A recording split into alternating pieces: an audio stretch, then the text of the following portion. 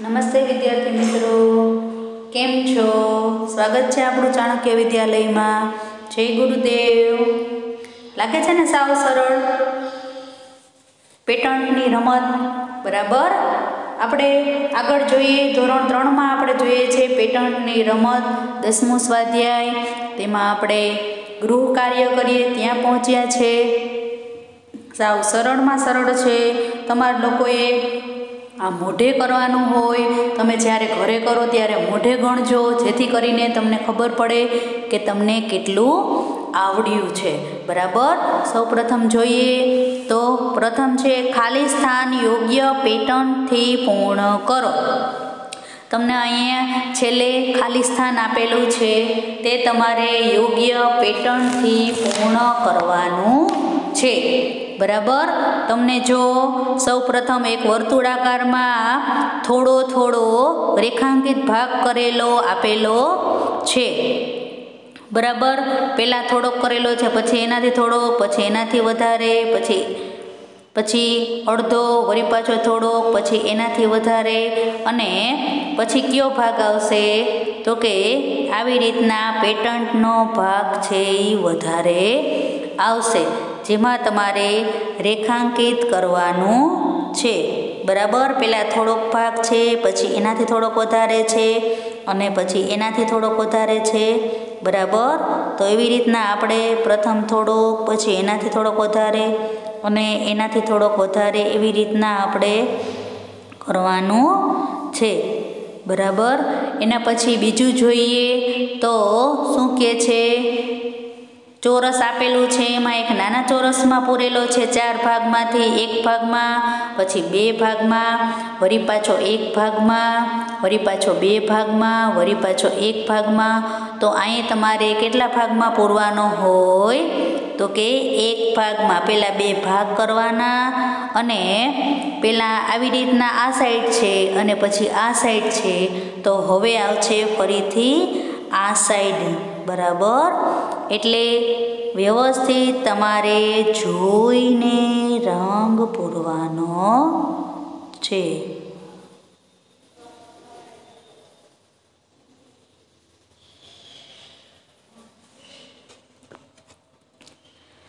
પછી છે વર્તુળ આપેલું છે, વર્તુળ જુઓ. આટલો ભાગ રેખાંકિત કરેલો છે વધારે. પછી ચોથો ભાગ કરેલો છે રેખાંકિત, બરાબર? પછી થોડોક વધારે ભાગ, પછી ચોથો ભાગ, પછી થોડોક વધારે ભાગ. તો હવે ચોથો ભાગ કરવાનો છે એ કઈ સાઈડ આવે? તો કે આ સાઈડ આવે, બરાબર?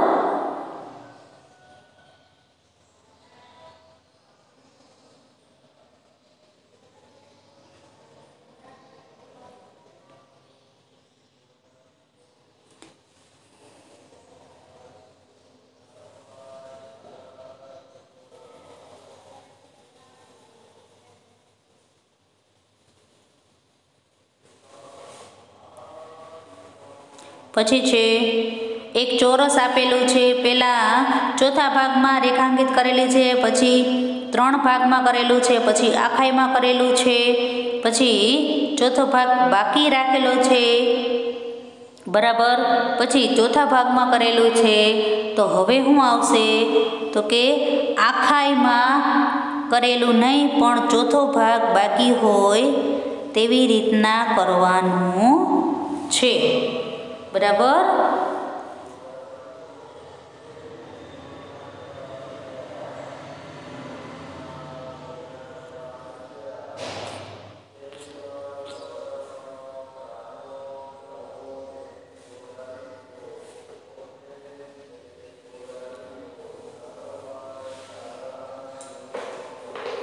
આખા ભાગમાં રેખાંકિત કરવાનો છે.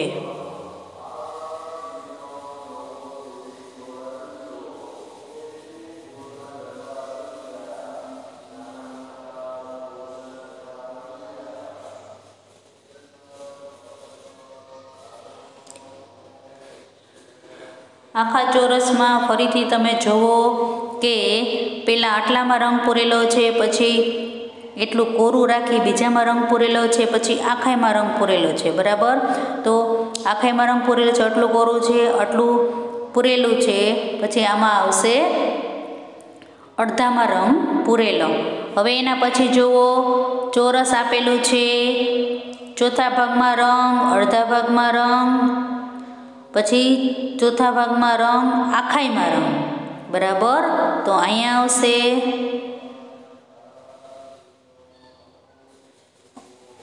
અડધામાં આવશે રંગ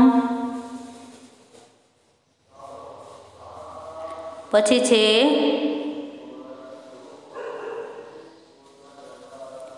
આટલામાં રંગ બરાબર?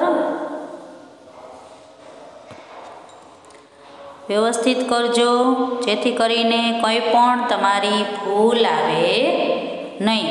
પછી છે એક ત્રિકોણ આપેલું છે, ત્રિકોણમાં બે ભાગ કરેલા છે, બરાબર? ત્રિકોણમાં બે ભાગ કરેલા છે, પછી છે અડધા ત્રિકોણમાં રંગ પૂરેલો છે, પછી કેવી રીતના રંગ પૂરેલો છે જુઓ. પછી છે આ સાઈડ, પછી ઉપર, પછી આ સાઈડ, પછી આ સાઈડ. ફરી પાછો નીચે અને એના પછી તમે જોઈ શકો છો કઈ સાઈડ રંગ પૂરેલો છે. બરાબર? જેથી કરીને આપણી ભૂલ થવાની શક્યતા ઓછી રહે બરાબર? પહેલાં બે વાર વિચારીને તમારે કરવાનું છે.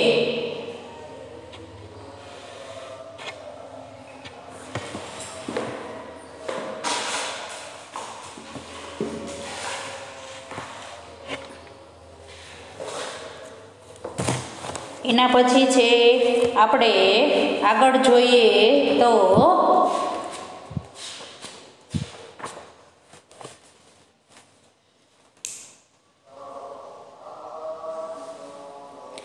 ત્રિકોણમાં રંગ પૂરવાનો છે ઉપરના ભાગમાં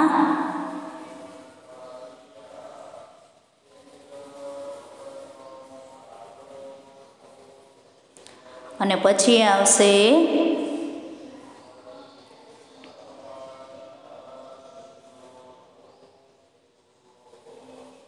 આ ભાગમાં. એના પછી આપણે જોઈએ ષટકોણ આકાર આપેલો છે. ક્યાં આકારમાં રંગ આવશે? તો એમાં જોઈએ આપણે તો પહેલાં ષટકોણમાં જુઓ, આ આકારમાં રંગ આવશે. પછીના ષટકોણમાં જુઓ. તો અડધા ષટકોણમાં રંગ આવશે. બરાબર?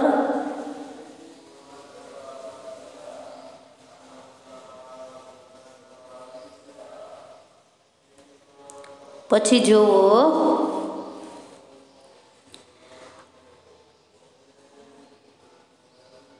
આડા આકારમાં આટલો રંગ આવશે.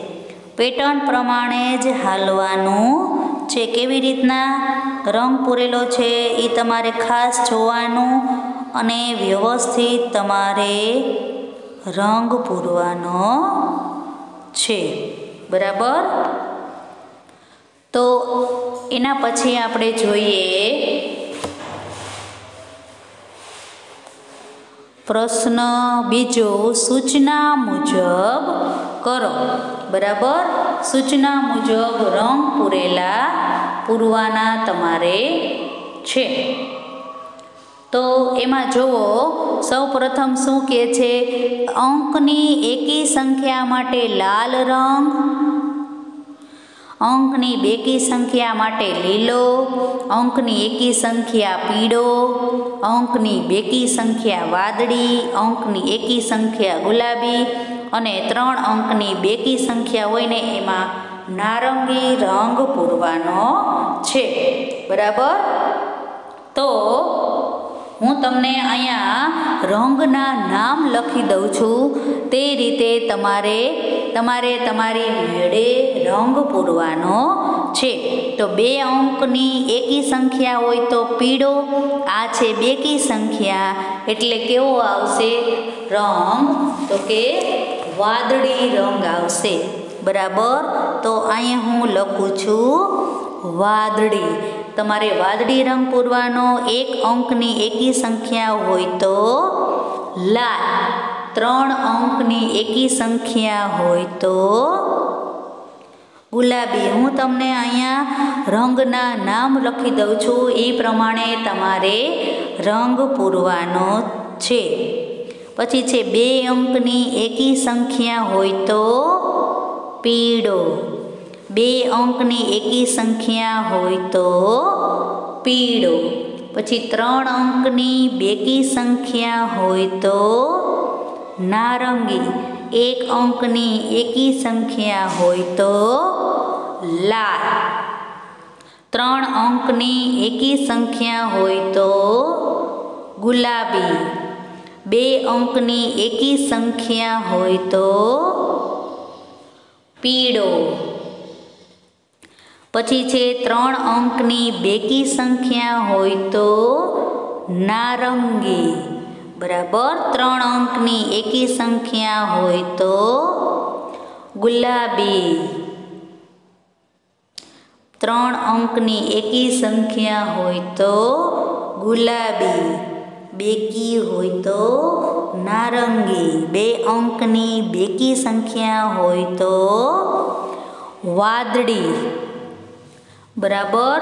બે અંકની બેકી સંખ્યા માટે વાદળી ત્રણ અંકની બેકી સંખ્યા માટે નારંગી એકી માટે ગુલાબી લાલ વાદળી વાદળી ગુલાબી પીળો ગુલાબી અને લીલો. બરાબર? આવી રીતના તમારે રંગ પૂરવાના છે.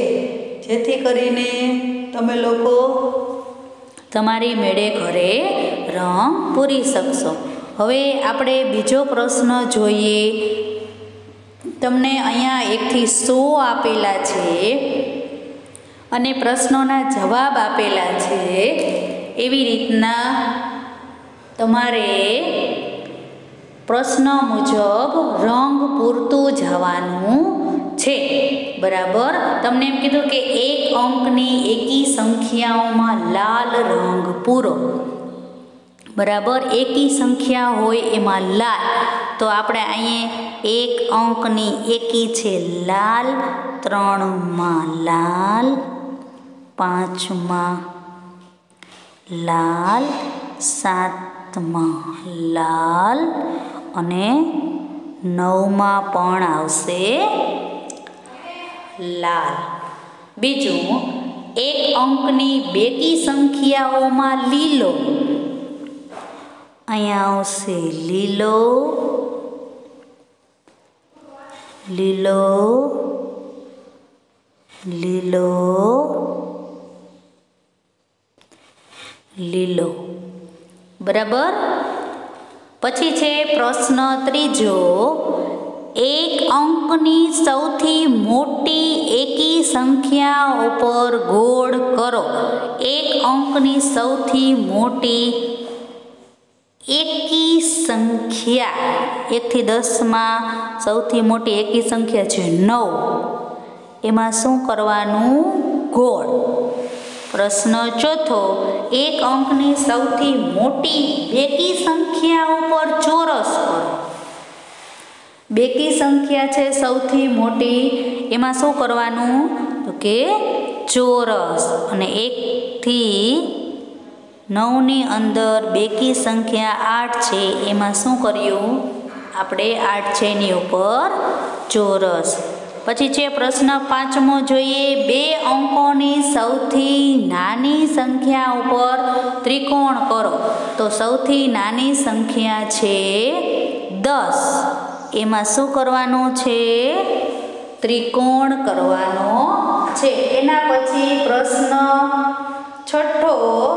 પછી એકમનો છઠ્ઠો પ્રશ્ન છે. દશકનો અંક પાંચ હોય તેવી બેકી સંખ્યા ઉપર કેસરી રંગ પૂરો. શું કીધું? દશકનો અંક પાંચ હોય તેવી બેકી સંખ્યા ઉપર કેસરી રંગ પૂરો. બરાબર? દશકનો અંક પાંચ હોય. તો એક છે પચાસ. ન્યા કેસરી આવશે એકમ દશક. દશકનો અંક કેટલો છે? પાંચ. પણ કેવી? બે દશકનો અંક પાંચ હોય તેવી બેકી સંખ્યા. બાવનમાં આવશે. ચોપનમાં આવશે. છપ્પનમાં આવશે. અઠાવનમાં આવશે. બરાબર? પછી છે છઠ્ઠો પ્રશ્ન. દશકનો અંક પાંચ હોય તેવી બેકી સંખ્યા ઉપર સાતમો. દશકનો અંક પાંચ હોય તેવી એકી સંખ્યા ઉપર પીળો રંગ પૂરો. બરાબર? કેમાં પીળો રંગ પૂરવાનો છે? તો કે દશકનો અંક પાંચ હોય અને એકી સંખ્યા હોય. બરાબર? તો એકાવન છે. એમાં પીળો આવશે, ત્રેપનમાં પીળો આવશે. પંચાવનમાં પીળો આવશે, સત્તાવનમાં પીળો આવશે, ઓગણસાઠમાં પીળો આવશે. બરાબર? પછી જુઓ, આઠમો પ્રશ્ન. શું કે છે? દશકનો અંક સાત હોય તેવી એકી સંખ્યાઓ ઉપર વાદળી રંગ પૂરો દશકનો અંક સાત હોય. એવી એકી સંખ્યા એટલે એકોતેર, વાદળી તોતેર વાદળી, પંચોતેર વાદળી, સિત્તોતેર વાદળી, ઓગણાએંસી વાદળી બરાબર. પછી છે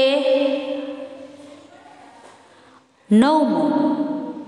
જેના એક દશકના અને એકમના બંને અંકો સરખા હોય તેવી બેકી સંખ્યાઓ ઉપર પ્લસ ગોળ કરીને પ્લસની નિશાની કરો. દશકના અને એકમના બંને અંક સરખા હોય. એવી બેકી સંખ્યાઓ. તો કે બાવીસ.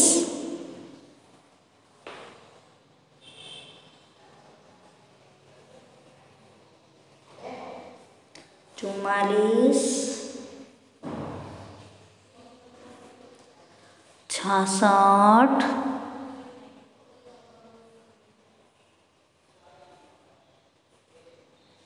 અઠ્યાસી. બરાબર.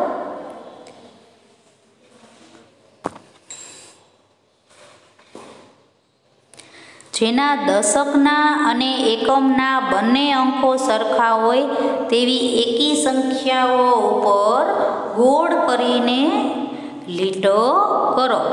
દશકના અને એકમના અંક બંને સરખા હોય. ગોળ કરીને લીટો.